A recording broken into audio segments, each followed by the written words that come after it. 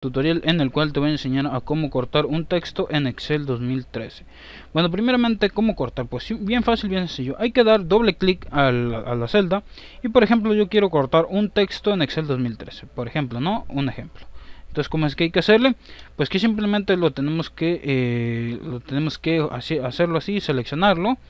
Y vamos a dar clic derecho y te vas a la opción cortar y ya está. Así de fácil se corta. Y eso sería todo este de este video tutorial.